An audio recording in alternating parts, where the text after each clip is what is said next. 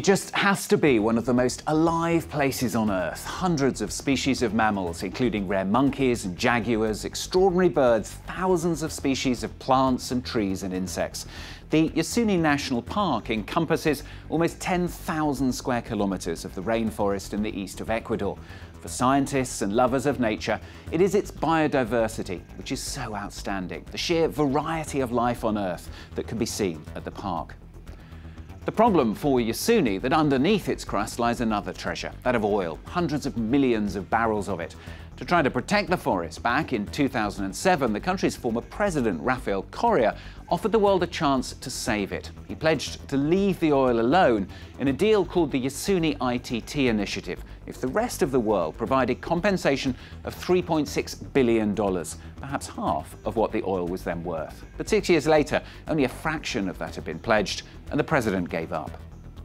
Profunda tristeza, pero también con absoluta responsabilidad con nuestro pueblo y con la historia, he tenido que tomar una de las decisiones más difíciles de todo mi gobierno. El día de hoy he firmado el decreto ejecutivo para la liquidación de los fideicomisos Yasuní y TT y con ello poner fin a la iniciativa. Well, since then, drilling has begun and the rainforest shrinks, another small slice swallowed up every day. The authorities say only a small slice will be lost, and they point to Ecuador's need for finance for its health system, social housing, and education. In the forest itself, ecologists, indigenous people, and the creatures themselves for whom Yasuni is their home fight for its survival. Antoine Baudéa revisits Yasuni for France 24.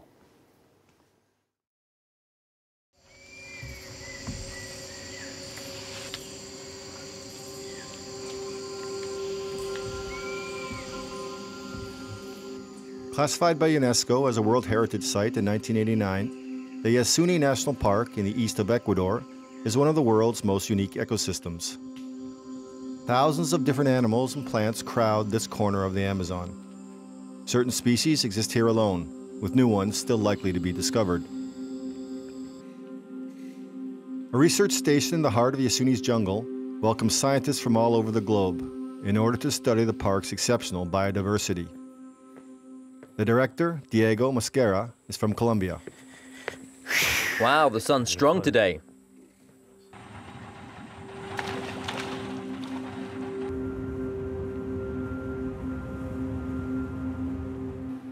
A feline specialist, Diego has led research projects in Yasuni for 12 years.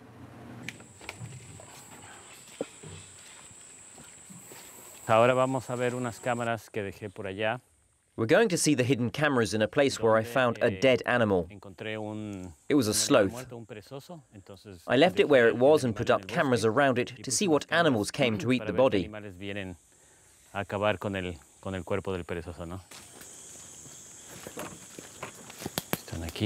Here we are. There's a camera here, one there, and the last one over there. There are 29 recordings on this one. I'm looking forward to seeing what ate the sloth. There's almost nothing left. You can have the best intentions in the world, that's not going to save nature. What you need is hard scientific facts. That works. If I tell you, please, Yasuni is so beautiful, please don't exploit it, let it be, that won't work. Diego believes as much in his mission to present the public with the right information as he does in his vocation as a scientist. He knows that Yasuni still has much to reveal. I know this jungle well, but it's so varied that every day you walk for two minutes and find something you've never seen before.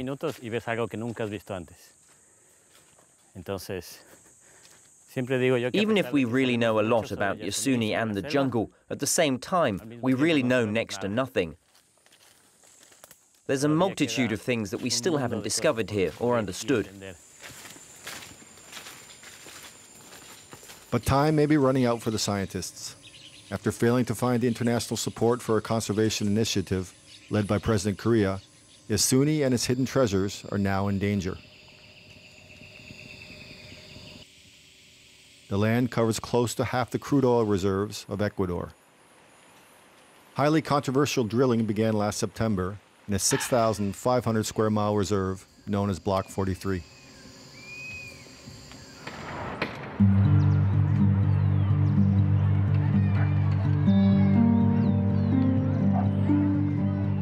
Oil is the engine of Ecuador's economy and the country's third largest export.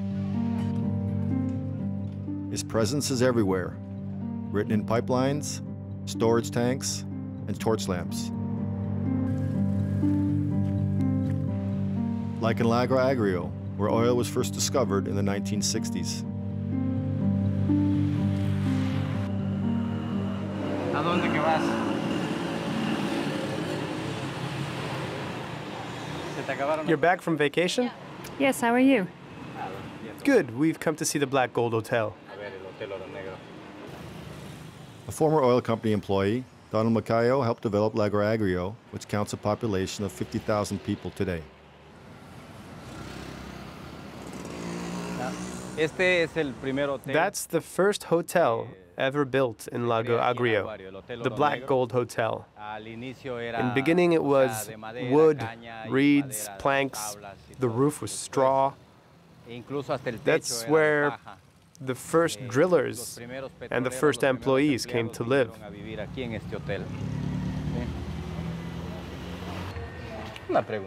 Excuse me, can we go on the terrace for a couple of minutes? Is it yours? ¿Es de usted? Yes, it's my house. Solamente para hacer una It's just to see the oil tanks on the other side.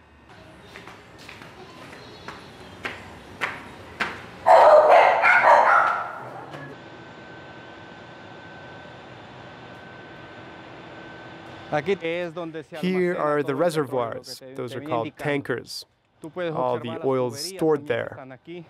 Están aquí. You can see there the pipelines, the Petroecuador logo. Allá están los Over there, where there's all that noise, is the pumping station. Escucha el ruido todo. Lago Agrio was built by and for oil alone. Today, that fact saddens Donald Moncayo. The devastation that the oil production caused has made this former oil employee an ardent defender of the Amazon rainforest. Esta es una pintura. Eh, This fresco represents the indigenous peoples. Primeramente está la Up high is the UDAPT logo, the Union for Victims of Texaco. Afectadas por Texaco. ¿Sí? Eso significa UDAP. Here are the names of the Aikofan, the Siona, the Shuar, the Quichua, the Siekopai, the Huaorani, and the Mestizo.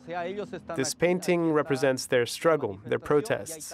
And here is Chevron, the company that completely destroyed the Amazon through ambition, through its love of money and power.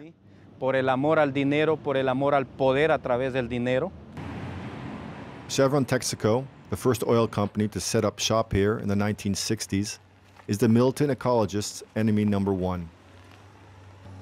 Donald Moncayo and his association have been leading a court case against the U.S. company for more than 20 years, accusing it of having destroyed the environment.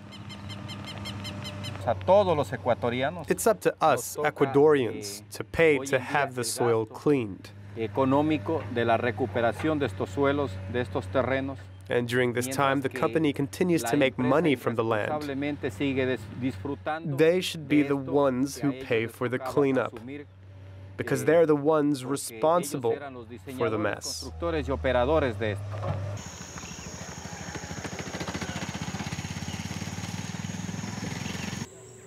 And the people who live here are also paying a heavy price. Alfredo is a member of the indigenous community of Secoyas from San Pablo, a small village close to an old Chevron Texaco site. Bueno, esta agua utilizamos porque en, en We use this water because we can't find clean water in the rivers because of the chemicals and the oil. químico, petróleo que hay We cannot use the river's waters anymore.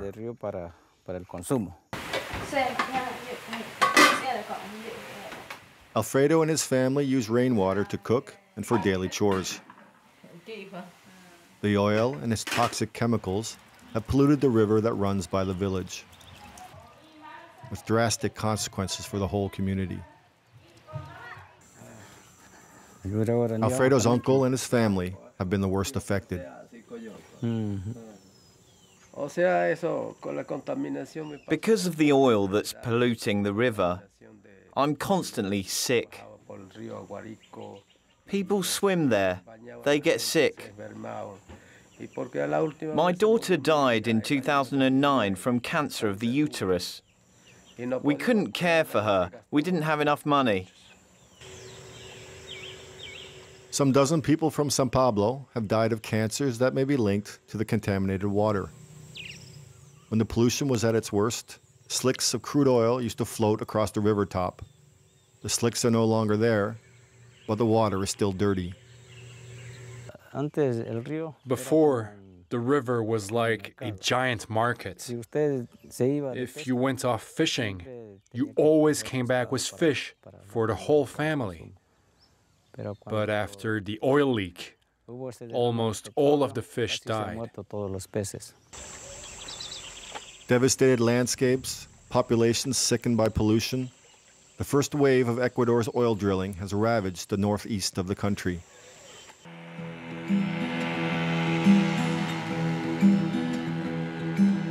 The government is promising to be more careful next time and to ensure the environment is protected. But the people of Yasuni don't trust them.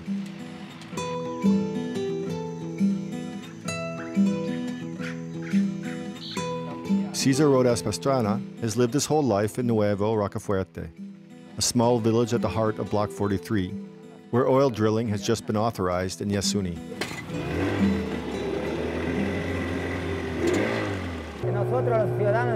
We're the children of this land, born and raised here. We've seen animals disappear, and tourism is disappearing too. Tourists aren't coming anymore.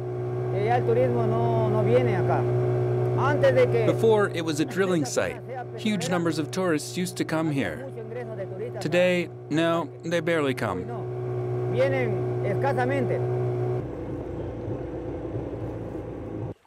Here's Puerto Miranda. A village of just 80 people, it is also the owner of numerous ancestral lands full of oil. Is Mr. Machoa there? The professor, please. We'd like to talk to him. And the village leader? Yeah. The indigenous community has leased a part of its land to Ecuadorian oil company Petroamazonas, which oversees drilling in the region. But the people of the village feel they have been cheated. They're engineers, they're educated. Most of the villagers here haven't gone past elementary school or junior high. We can't really negotiate. They come here, they propose something, offer us things, but they never keep their word. They say there'll be no leaks, nothing will be contaminated. They guarantee us that we'll be compensated, that we'll be well paid. They promise work. In reality, though, that's not true. The community received $135,000 for a 20 year lease on their land. The oil company gives money to the community, but that doesn't compensate for the contamination. What am I going to do if they give me a million dollars, then raise the whole forest? What's that worth? I prefer to keep the forest and forget the money. Despite the villagers' complaints, oil drilling in Yasuni is full steam ahead. A few minutes by boat from Nuevo Rocafuerte, the largest drilling site is a sensitive area with limited access. While Petroamazonas is responsible for construction, Chinese companies have exploitation rights. Ecuador is paying off its Chinese debts through the oil of Block 43.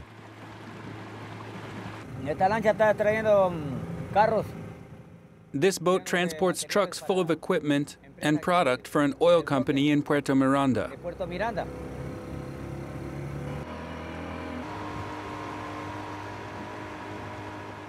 The oil business is already leaving its mark in Yasuni along the Tiputini River. That's the rig they're building now.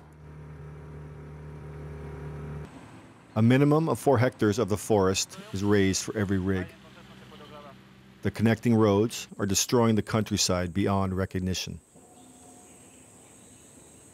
You don't see the animals here that you used to see. Because of the noise from the machines and all the rest of it, it's like a desert now. You don't see a bird, you don't see anything. They're all gone.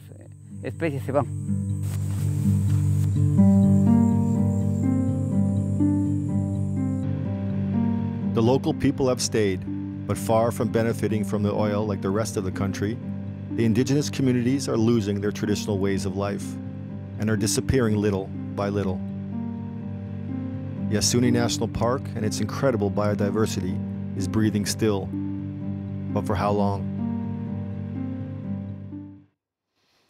Antoine Badillard revisiting Yasuni for France 24. That's uh, all from this week's edition. Don't forget, of course, you can catch it again and all the previous editions as well on our website at france24.com. Thanks for watching. More news coming up uh, in just a few moments' time. Stay with us.